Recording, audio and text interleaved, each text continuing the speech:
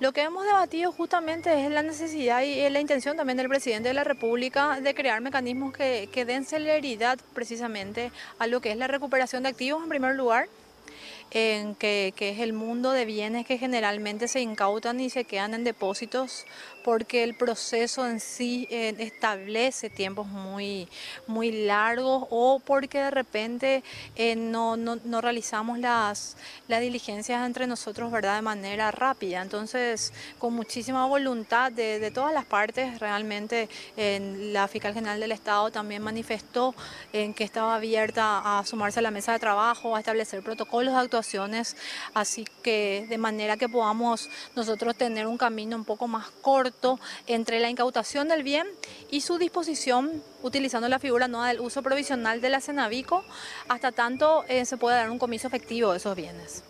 ¿Cuál sería la diferencia? O sea, ¿qué es lo que va a poder facilitar este protocolo atendiendo que ya hay una ley que eh, también habilita a la administración y también al uso de estos bienes? Que todavía hay una, confusión, o sea, en el sentido de que la Cenavico no administra evidencias. Eso es algo que hay que eh, aclarar realmente, ¿verdad?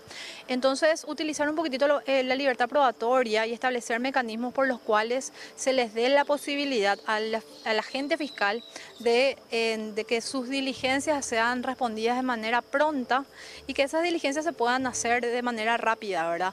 Eh, por dar un ejemplo para que la ciudadanía pueda entender, una camioneta que estaba transportando presunta eh, cocaína o presuntas drogas, ¿verdad? Generalmente es en principio evidencia, ¿verdad? Pero lo que se está buscando es justamente hacerle rápido el aspirado, ¿verdad? Que los resultados de la pericia estén más rápidos también, ¿verdad? En que, a la Fiscalía los informes que solicitan las otras instituciones también se les provea rápido acerca de la titularidad del bien, acerca de la, condición de dominio, etcétera, etcétera. Entonces, como para que esos papeles en sí sirvan como elementos probatorios y no sea el bien precisamente el que esté atado al, al, al proceso. Entonces, de manera que con todas esas diligencias, una vez que la agente fiscal lo tenga de manera rápida, va a poder también tener una expectativa de comiso alta en cuanto al bien y de esa manera sería ya no prescindir del bien como tal, sino que utilizar los documentos para que en un eventual juicio oral se pueda demostrar que ese elemento, que a su vez fue evidencia en un principio, posteriormente se, se, se transforme en un bien que pueda ser utilizado para fortalecer el crimen organizado y por supuesto que sea comisado, porque ahí es donde cerramos el círculo de la recuperación de activos.